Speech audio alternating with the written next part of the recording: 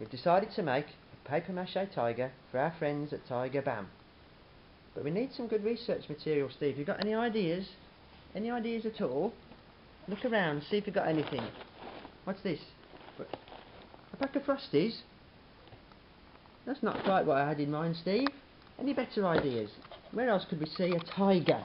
Get your thinking cap on. Hmm. Oh. Hey Steve, now you're talking. Let's go and see a tiger for real, huh? Come on. Come on. This is what I'm talking about. Look, look. Even the even the map's got a tiger on it. I think we're in good shape for this. All right. Yeah, then Stephen. There's your tigers.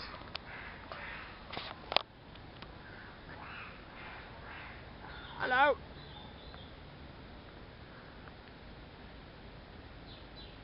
So this is Sumatran tiger, Steve. Is that okay? So that's our that's our information now. Now we know exactly what a tiger looks like, mate. Eh? Isn't that good? Job done? Job done? Good man. There's another one under there, look, lying down.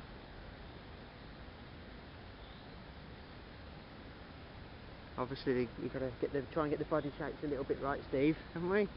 Mm? Won't be easy. Eh? It won't be easy, but if we work on it, we should be able to pull that off, eh? What do you reckon? There's some pictures over here as well, just to see.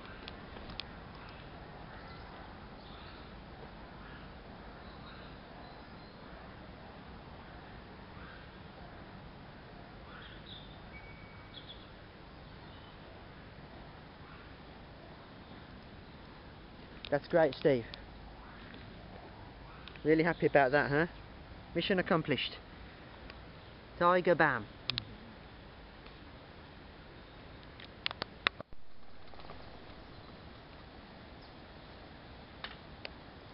Certainly the body shape, Steve, well, so that we can get a good a good shape on our uh, with our cardboard and paper mache.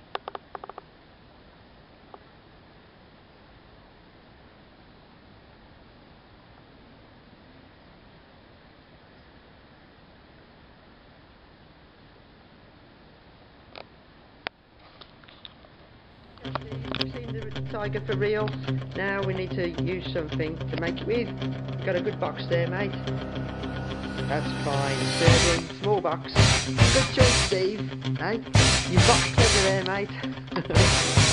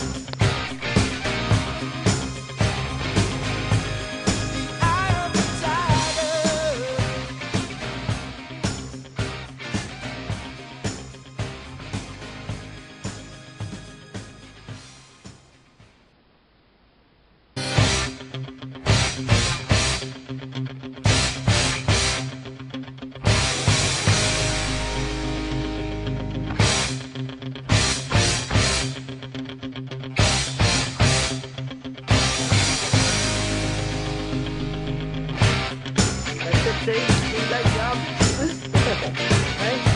Wonderful.